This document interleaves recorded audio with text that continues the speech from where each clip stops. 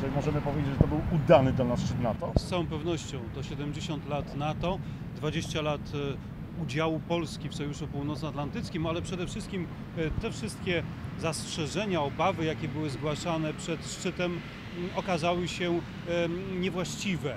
Otóż e, dzięki aktywności również, a może nawet przede wszystkim naszego prezydenta pana Andrzeja Dudy i rozmów e, z prezydentem Turcji Erdoanem, e, Turcja zgodziła się na ustanowienie, na przyjęcie planu, tak zwanego e, planu ewentualnościowego, a więc e, planu odpowiedzi w sytuacji mm, kryzysowej. E, To jest niezwykle istotne.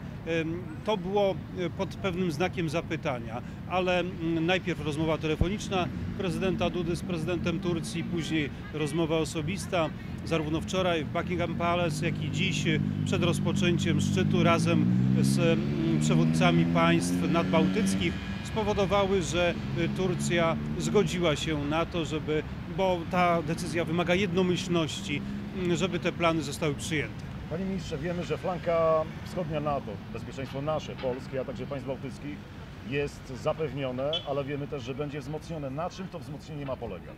To jest wypełnienie treścią decyzji, jaką em, NATO podjęło w ubiegłym roku, a więc złożenie deklaracji co do tego, aby w ciągu 30 dni y, 30 oddziałów y, trzech rodzajów wojsk, a więc wojsk lądowych, mm, wojsk y, powietrznych i marynarki wojennej były gotowe do reakcji w sytuacji zagrożenia. Polska jest też y, m, ważnym y, udziałowcem y, tego przedsięwzięcia, dlatego że y, spośród sześciu mm, brygad lądowych, y, to jedną z tych sześciu brygad y, mm, tworzy jako państwo ramowe właśnie Wojsko Polskie.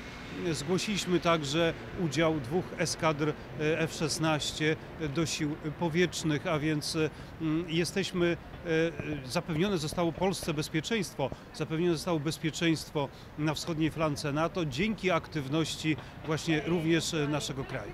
Zarówno z moim kolegą brytyjskim, jak i z doradcą prezydenta Trumpa do spraw bezpieczeństwa narodowego rozmawialiśmy y, o mm, obecności sojuszniczej w Polsce. W przypadku wojsk brytyjskich to w ramach programu EFP to Stany Zjednoczone w Polsce e, są państwem ramowym. To jest e, konsekwencja decyzji podjętej podczas szczytu NATO w Warszawie w 2016 roku. W przypadku mm, spotkania z doradcą prezydenta Donalda Trumpa rozmawialiśmy także mm, na temat współpracy przemysłowej, e, na temat e, tego, co niebawem się wydarzy, a więc dopełnienia już formalności, zakończenia negocjacji w sprawie kupienia przez Polskę 32 samolotów F-35, najnowocześniejszych e, samolotów e, na świecie. Zależy nam na tym, żeby NATO było rzeczywistym gwarantem bezpieczeństwa, a w relacjach dwustronnych, zarówno ze Zjednoczonym Królestwem, jak i ze Stanami Zjednoczonymi, to po prostu wzmocnienie.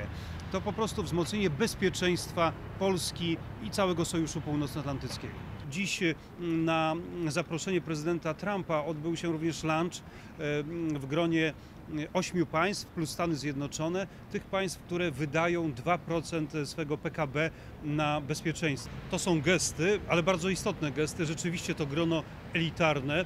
I sam fakt, że prezydent Rzeczypospolitej Polskiej, pan Andrzej Duda, siedział naprzeciwko prezydenta Donalda Trumpa, że prezydent Trump po wstępie z udziałem mediów zwrócił się do prezydenta Andrzeja Dudy, żeby zabrał głos, żeby podzielił się opiniami swoimi na temat właśnie mm, przygotowań związanych z podnoszeniem zdolności obronnych Sojuszu Północnoatlantyckiego. To wszystko świadczy o tym, że mm, pozycja Polski w Sojuszu Północnoatlantyckim jest coraz silniejsza, a to się przekłada na bezpieczeństwo naszej ojczyzny.